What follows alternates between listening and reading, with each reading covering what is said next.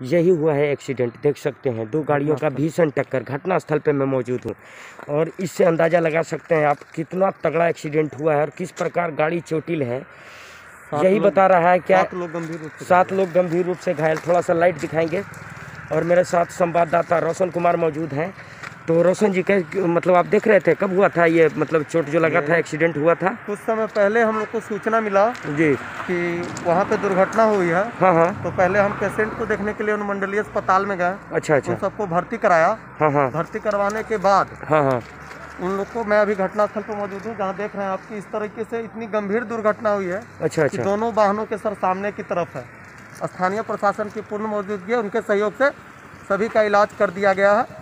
और जो गंभीर रूप से घायल है उनका रेफर कर दिया गया है बड़े अस्पताल में। संवाददाता रोशन जी बताएँगे क्या हुआ था? रोशन जी बता रहा था पेशेंट की लैपटॉप छीन लिया है। हाँ, घायलों से बातचीत किया मैंने। अच्छा अच्छा। तो उन्होंने बताया कि उनका गिरने के बाद उनका जो लैपटॉप का बैग था अच्छा वो अच्छा। कोई व्यक्ति यहाँ से उठा के हाँ हाँ। ले गए और साथ में दो मोबाइल हाँ हाँ।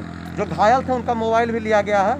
अच्छा अच्छा उजाले में आएँगे ऐसा कह सकते हैं कि ये साथ एक्सीडेंट के साथ एक लूटपाट की घटना भी हो सकती है। अच्छा अच्छा।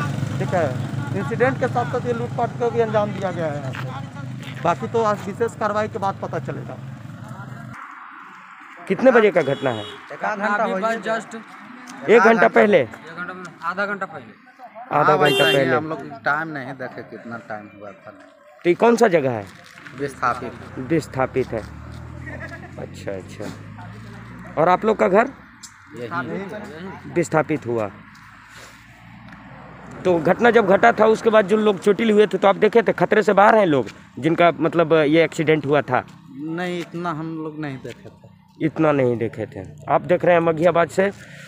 ये जानकारी इन्फॉर्मेशन मिलने के बाद रोशन कुमार संवाददाता ने बताया तब जाकर हम लोग घटनास्थल पर पहुँचे हैं और देख रहे हैं यह लाइव घटना। धन्यवाद।